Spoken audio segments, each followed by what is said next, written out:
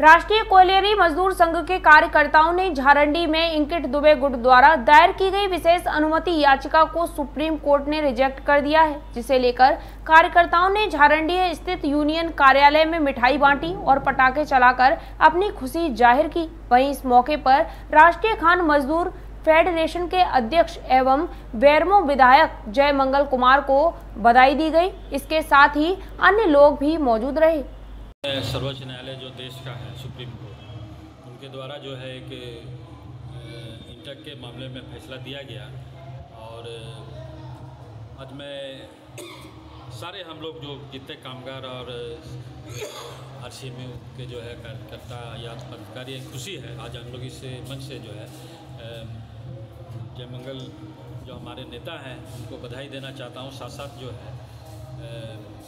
हमारे जो मान्य नेता रह चुके राजेंद्र बाबू और तेजस्वी दुबे,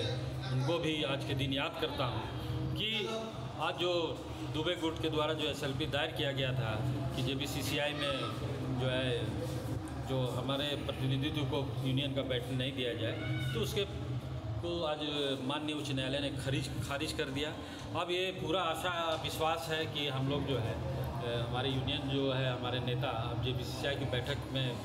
उपस्थित रहेंगे, उनको शामिल किया जाएगा। और मज़दूरों के हक में जो है एक बड़ा फैसला होगा, जो पिछले कई बैठकों में ये देखा जा रहा था कि उपेक्षा प्रबंधन द्वारा किया जा रहा है, लेकिन अब इंटक के उसमें प्रवेश से ही जो है एक बड़ा हम लोग तबका जो मजदूर वर्ग जो इंटक से जुड़ा हुआ था, उनके बीच एक खुशी की लहर है कि अब हम लोग जो है जे बी में, हमारा जो नेता बैठेंगे और मज़दूरों के हक में फैसला होगा। आज उसी की खुशी हम लोग को है कि हम लोग सारे लोग हैं, लड्डू बांट रहे हैं, अभी पटाखा फोड़ने का भी प्रोग्राम है और एक खुशी ज़ाहिर करने का है कि